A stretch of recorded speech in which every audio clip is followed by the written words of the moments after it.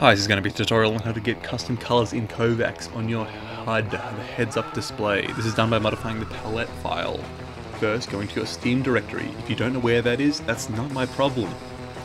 Then from the Steam directory, you're going to want to go Steam Apps, Common, FPS Aim Trainer, FPS Aim Trainer, Saved, Save Games, and then boom, you should see a nice little palette.ini file. That's where all the magic's going to happen. By changing this file, we can change the colors in-game. Uh, there's a bunch of pre-made sort of palette files made by different people. Uh, Sparky, if you go on their Discord, they have a bunch. I'm using one of theirs, the Emerald. Uh, what you're going to do is you're going to grab the default one, rename it to something else, because you don't want to lose that one. Well, I guess it doesn't matter, but anyway, just rename it, alright? Do what I say. Then, you're going to bring in the new file, and rename that to be the exact same name, palette.ini. And that way, when you open up Kovaaks, as you can see, it's going to load that file, load all the colors from that, and you're going to have a nice custom colored HUD and all that. Now, what if you want to make your own theme? Well, we just got to modify the file.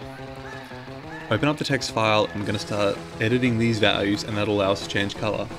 These are stored as RGB pairs. What does that mean? It means every two characters is a color channel. So the first two correspond to the red, the next two correspond to the RG green, and the final two correspond to the blue. Now you might see that there's actually another two there. So they either come in a 6 or they come in an 8. The 8 is just uh, an alpha channel, which is basically how transparent it is.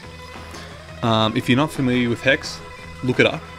But basically, 0 to F 0 being nothing, F being full. So if you want it full red, you do FF 00, 00, 00, and then if there's an alpha channel, which there isn't always, but if you wanted it to be entirely opaque, as in you can't see through it, you would stick that to FF, I want to say? I don't know. Experiment.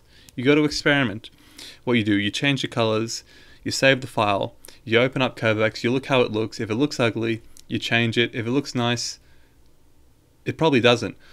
Uh, that's how you do it. Just a bunch of sort of experimenting with colors. You find something that's nice, you send it around, and everyone asks for your settings non-stop.